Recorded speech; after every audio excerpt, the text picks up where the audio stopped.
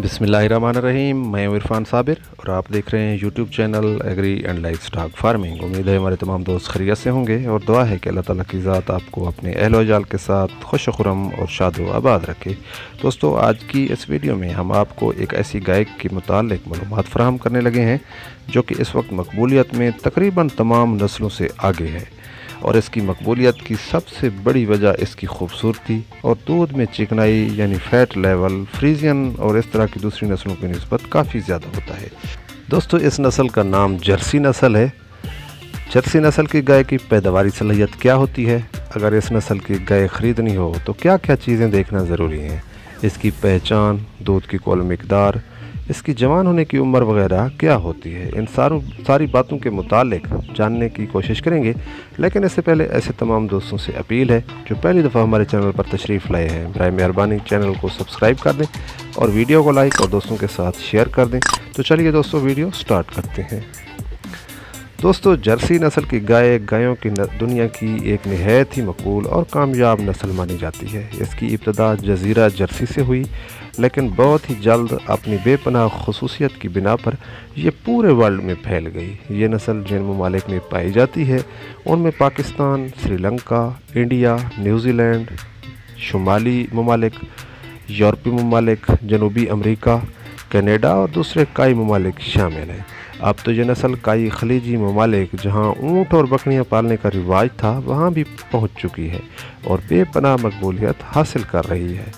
दोस्तों, पाकिस्तान में जर्सी नस्ल के जानवर बहुत नाजाब हैं।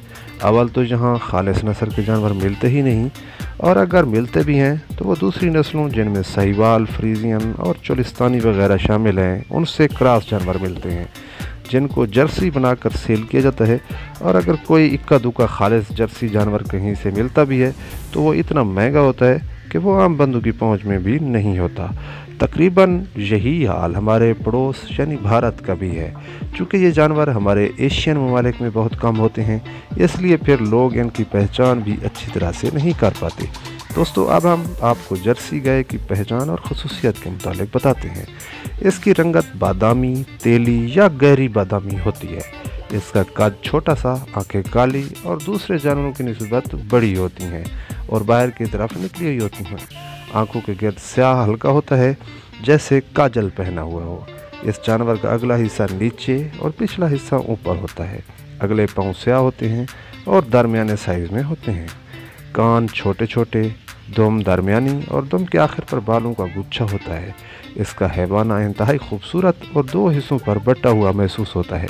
चारों थन बराबर होते हैं और हैवाना पीछे की तरफ़ भी निकला हुआ होता है। दोस्तों, मादा का वज़न 380 से 420 किलोग्राम तक होता है और नर का वज़न 540 से लेकर 620 किलोग्राम तक होता है। दोस्तों, ये जानवर गर्म तरीन खितों में भी कामयाब है और पाकिस्तान और इंडिया जैसे ममालिक की आबो हवा में भी ये बहुत कामयाब है। इसका फ़ैट यानी चिकनाई बहुत ज़्यादा होती है और बहुत शरीफ जानवर होते हैं। बीमारियों के ख़िलाफ़ क़वत मुदाफ़त भी इस जानवर में ज़्यादा होती है।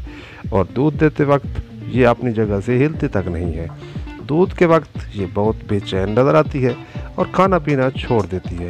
इस गाय का दूध का रिकॉर्ड एक दिन में चौहत्तर लीटर है, जो एक इलेक्ट्रिशियन में छत्तीस सौ लीटर से अड़सठ सौ लीटर तक दूध देती है।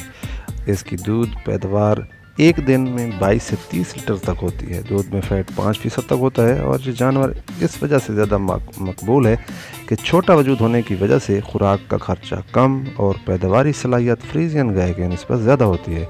छोटे वजूद होने की वजह से इसकी कुल वारंटी यानी इसकी कुल बूढ़े होने की उम्र भी दूसरे जानवरों के नस्बत बहुत ज़्यादा है। दोस्तों, ये थी हमारी वीडियो। उम्मीद है आपको पसंद आई होगी। इसी के साथ इजाज़त दीजिए। अल्लाह हाफिज़।